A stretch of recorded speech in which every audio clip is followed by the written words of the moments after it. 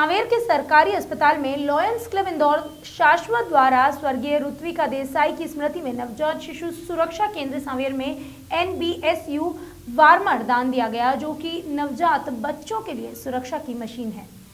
इस मशीन की कीमत लगभग पैंतीस हज़ार रूपए है। यह नवजात शिशु के तापमान के नियंत्रण में सहायक होता है।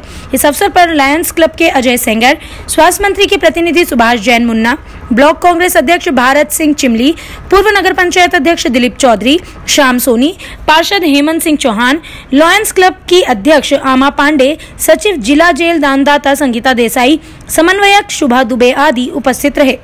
शुद्ध महिलाओं का लायंस क्लब है।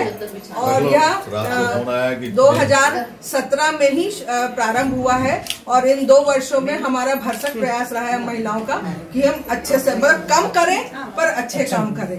उसमें आज एक कड़ी एक हमारी ये परमानेंट एक्टिविटी शुरू होने जा रही है जिसमें यहाँ सावेर के हम सरकारी अस्पताल में वार्मर छोटे बच्चों के लिए दे रहे हैं जो नवजात शिशु होते हैं वो पैदा होने के बाद अगर कमज़ोर है या कुछ है तो उनको गर्म करना बहुत ज़रूरी होता है तो वो इसमें रख के उनको लाइफ सेविंग है ये भी।